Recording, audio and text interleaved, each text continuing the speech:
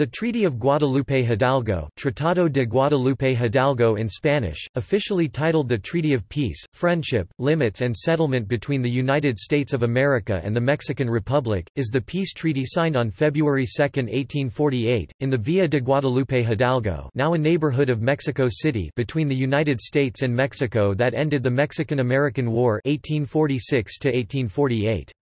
The treaty came into force on July 4, 1848. With the defeat of its army and the fall of its capital, Mexico entered into negotiations to end the war. The treaty called for the U.S. to pay $15 million to Mexico and to pay off the claims of American citizens against Mexico up to $5 million. It gave the United States the Rio Grande as a boundary for Texas, and gave the U.S. ownership of California and a large area comprising roughly half of New Mexico, most of Arizona, Nevada, and Utah, and parts of Wyoming and Colorado.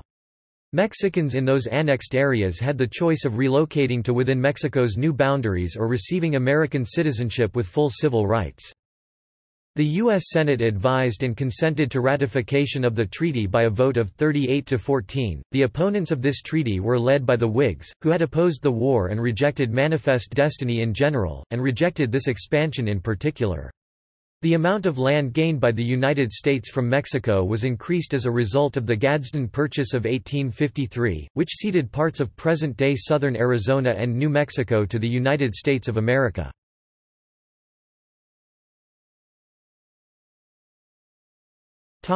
Negotiators The peace talks were negotiated by Nicholas Trist, chief clerk of the U.S. State Department, who had accompanied General Winfield Scott as a diplomat and President Polk's representative. Trist and General Scott, after two previous unsuccessful attempts to negotiate a treaty with General José Joaquín de Herrera, determined that the only way to deal with Mexico was as a conquered enemy. Nicholas Trist negotiated with a special commission representing the collapsed government led by Don José Bernardo Couto, Don Miguel de Atristain, and Don Luis Gonzaga Cuevas of Mexico.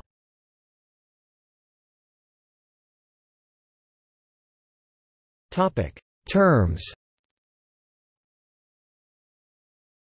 Although Mexico ceded Alta California and Santa Fe de Nuevo Mexico, the text of the treaty did not list territories to be ceded, and avoided the disputed issues that were causes of war, the validity of the 1836 secession of the Republic of Texas, Texas's unenforced boundary claims as far as the Rio Grande, and the 1845 annexation of Texas by the United States.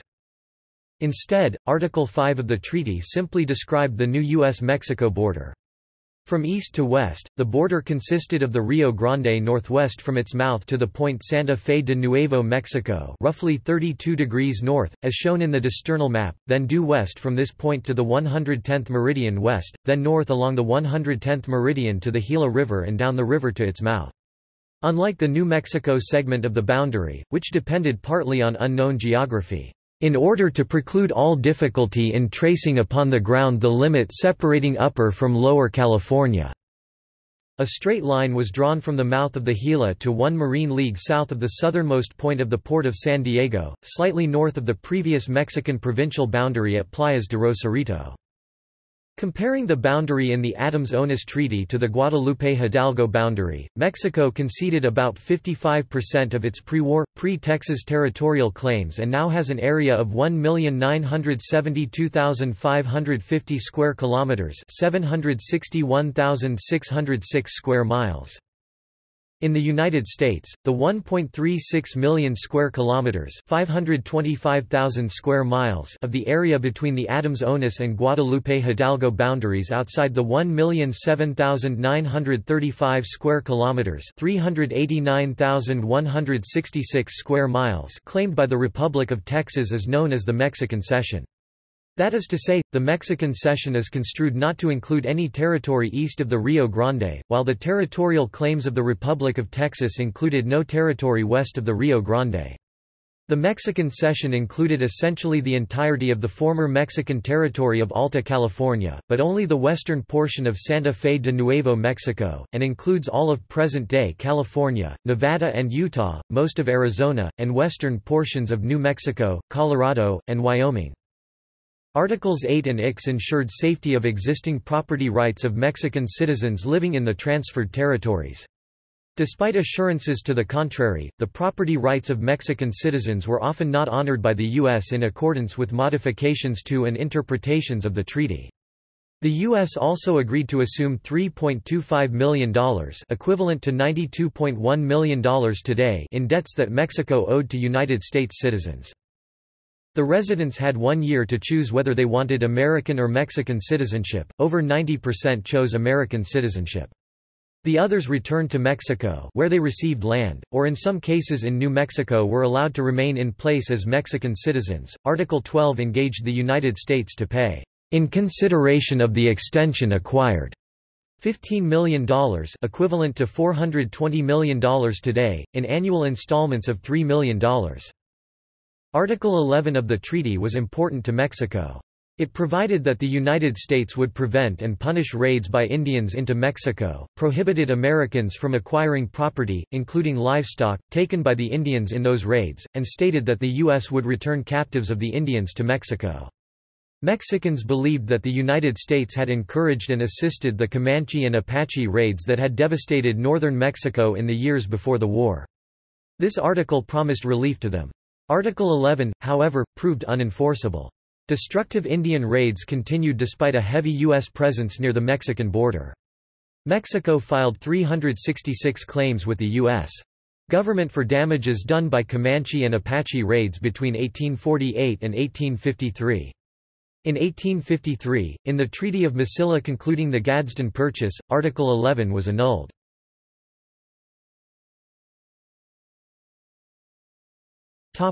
Results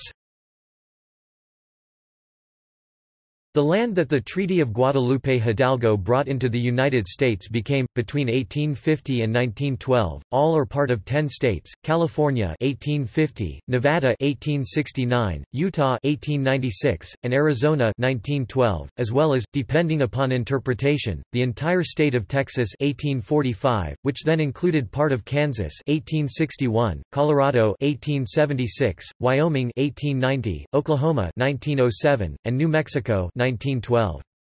The remainder the southern parts of New Mexico and Arizona were peacefully purchased under the Gadsden Purchase, which was carried out in 1853.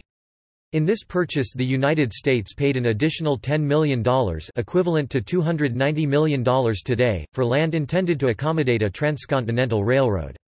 However, the American Civil War delayed construction of such a route, and it was not until 1881 that the Southern Pacific Railroad finally was completed, fulfilling the purpose of the acquisition.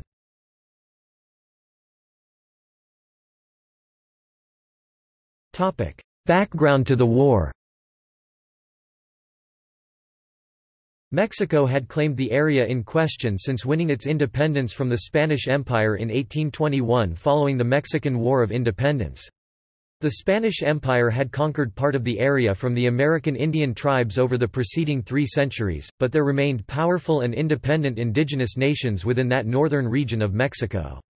Most of that land was too dry low rainfall and too mountainous to support many people, until the advent of new technology after about 1880, means for damming and distributing water from the few rivers to irrigated farmland, the telegraph, the railroad, the telephone, and electrical power. About 80,000 Mexicans inhabited California, New Mexico, Arizona, and Texas during the period 1845 to 1850, with far fewer in Nevada, southern and western Colorado, and Utah. On 1 March 1845, U.S. President John Tyler signed legislation to authorize the United States to annex the Republic of Texas, effective on 29 December 1845. The Mexican government, which had never recognized the Republic of Texas as an independent country, had warned that annexation would be viewed as an act of war. The United Kingdom and France, both of which recognized the independence of the Republic of Texas, repeatedly tried to dissuade Mexico from declaring war against its northern neighbor. British efforts to mediate the quandary proved fruitless, in part because additional political disputes particularly the Oregon boundary dispute arose between Great Britain as the ruler of Canada and the United States. On 10 November 1845, before the outbreak of hostilities, President James K. Polk sent his envoy, John Slidell, to Mexico. Slidell had instructions to offer Mexico around $5 million for the territory of Nuevo Mexico and up to $40 million for Alta California. The Mexican government dismissed Slidell, refusing to even meet with him. Earlier in that year, Mexico had broken off diplomatic relations with the United States, based partly on its interpretation of the Adams-Onis Treaty of 1819, under which newly independent Mexico claimed it had inherited rights. In that agreement, the United States had renounced forever all claims to Spanish territory, neither side took any further action to avoid a war.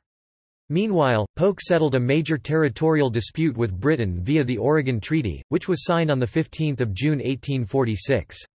By avoiding any chance of conflict with Great Britain, the U.S. was given a free hand in regard to Mexico. After the Thornton Affair of 25–26 April, when Mexican forces attacked an American unit in the disputed area, with the result that 11 Americans were killed, 5 wounded and 49 captured, Congress passed Declaration of War, which Polk signed on 13 May 1846.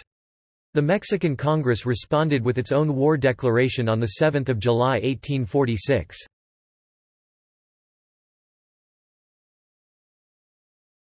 Topic. Conduct of war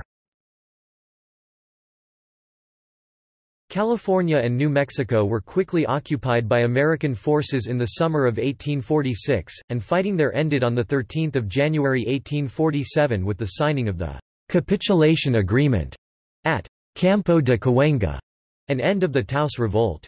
By the middle of September 1847, U.S. forces had successfully invaded central Mexico and occupied Mexico City.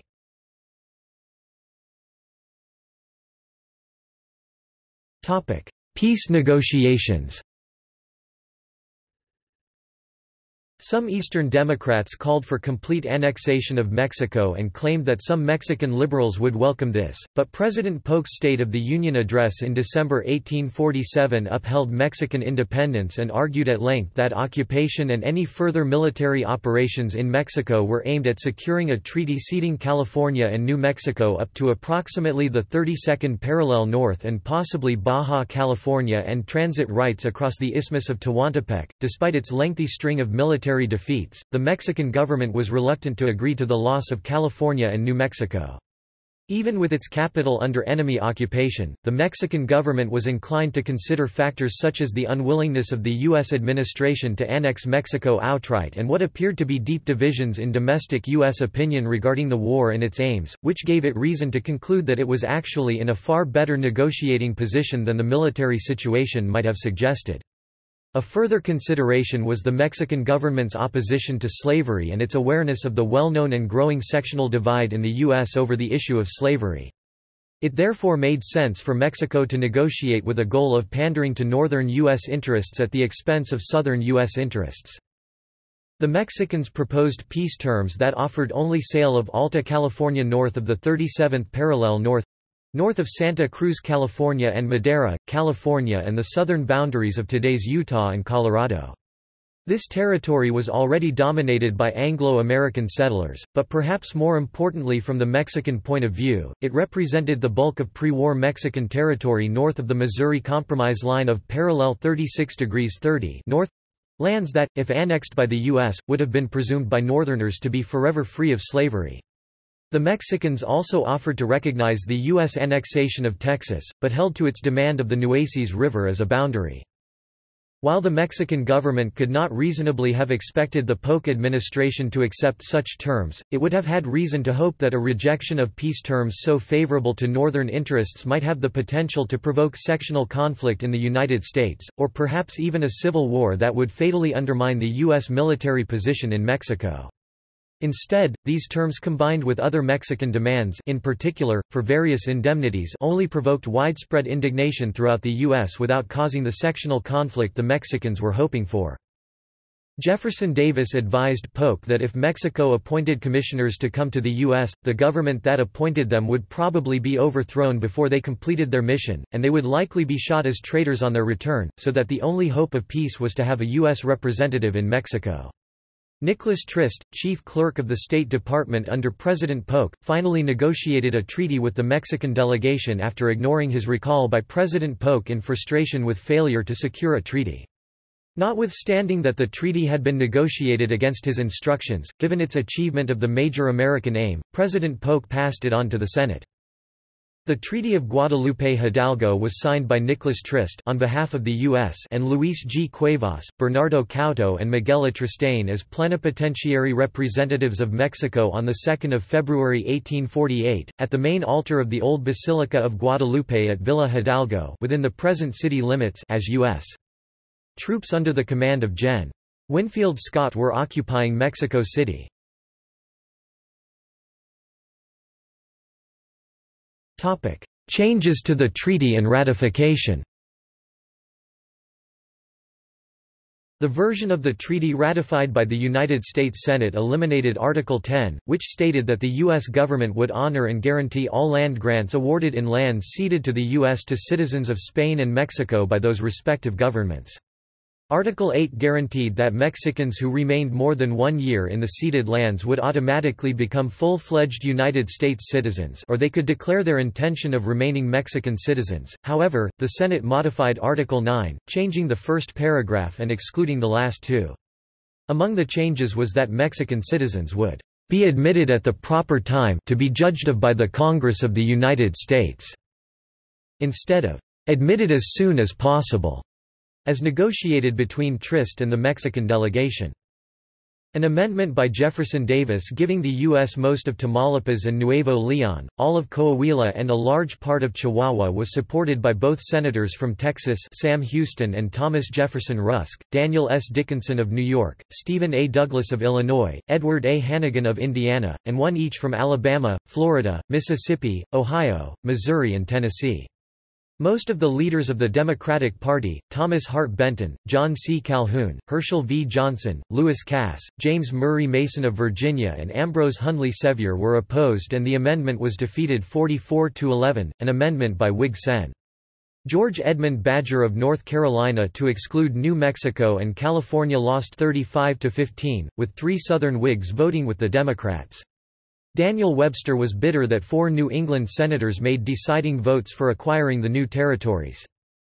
A motion to insert into the treaty the Wilmot Proviso banning slavery from the acquired territories failed 15 to 38 on sectional lines. The treaty was subsequently ratified by the U.S. Senate by a vote of 38 to 14 on 10 March 1848 and by Mexico through a legislative vote of 51 to 34 and a Senate vote of 33 to 4, on 19 May 1848. News that New Mexico's Legislative Assembly had just passed an act for organization of a U.S. territorial government helped ease Mexican concern about abandoning the people of New Mexico. The treaty was formally proclaimed on 4 July 1848.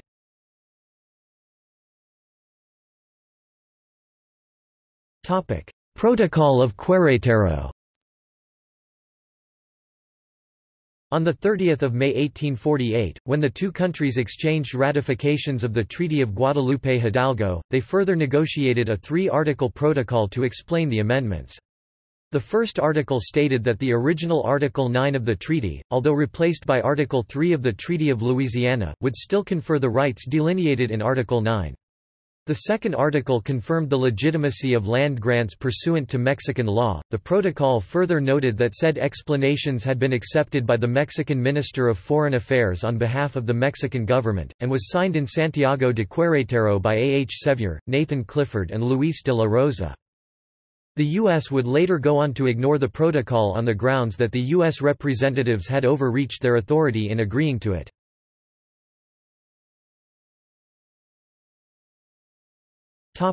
Treaty of Mesilla The Treaty of Mesilla, which concluded the Gadsden Purchase of 1854, had significant implications for the Treaty of Guadalupe Hidalgo. Article 2 of the treaty annulled Article 11 of the Treaty of Guadalupe Hidalgo, and Article 4 further annulled Articles V and 7 of Guadalupe Hidalgo. Article 5 however reaffirmed the property guarantees of Guadalupe Hidalgo, specifically those contained within Articles 8 and Ix.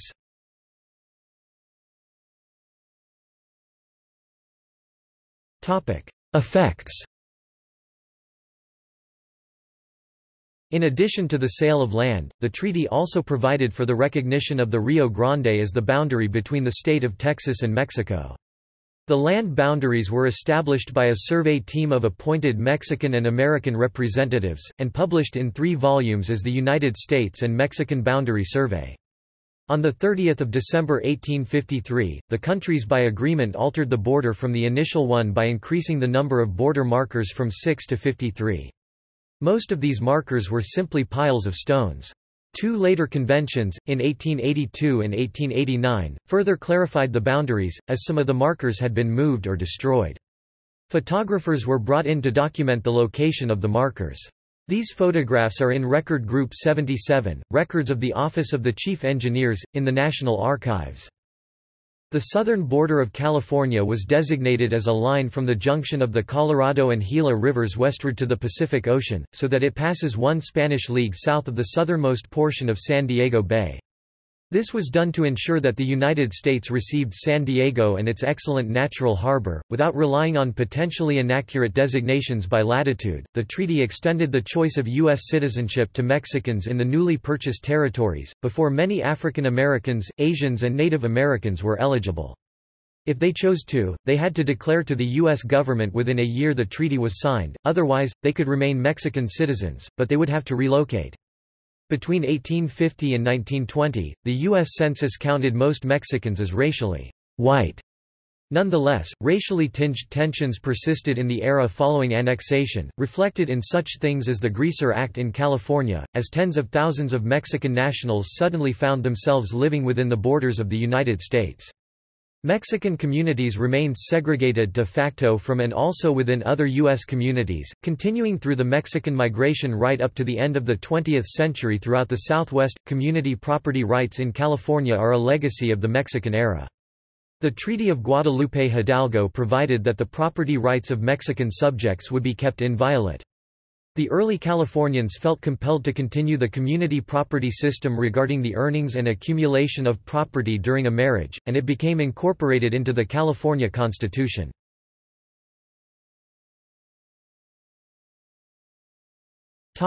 Additional issues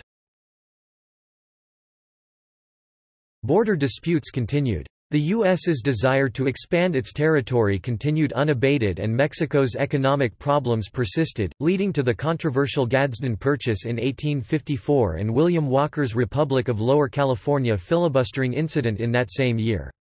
The Channel Islands of California and Farallon Islands are not mentioned in the treaty. The border was routinely crossed by the armed forces of both countries. Mexican and Confederate troops often clashed during the American Civil War, and the U.S. crossed the border during the War of French Intervention in Mexico. In March 1916 Pancho Villa led a raid on the U.S. border town of Columbus, New Mexico, which was followed by the Pershing Expedition. The shifting of the Rio Grande would much later cause a dispute over the boundary between purchase lands and those of the state of Texas, called the Country Club Dispute. Controversy over community land grant claims in New Mexico persists to this day. Disputes about whether to make all this new territory into free states or slave-holding states contributed heavily to the rise in north-south tensions that led to the American Civil War just over a decade later. The treaty was leaked to John Nugent before the U.S. Senate could approve it. Nugent published his article in the New York Herald and, afterward, was questioned by senators. Nugent did not reveal his source. The Treaty of Guadalupe Hidalgo led to the establishment in 1889 of the International Boundary and Water Commission to maintain the border, and pursuant to newer treaties to allocate river waters between the two nations, and to provide for flood control and water sanitation. Once viewed as a model of international cooperation, in recent decades the IBWC has been heavily criticized as an institutional anachronism, bypassed by modern social, environmental and political issues. See also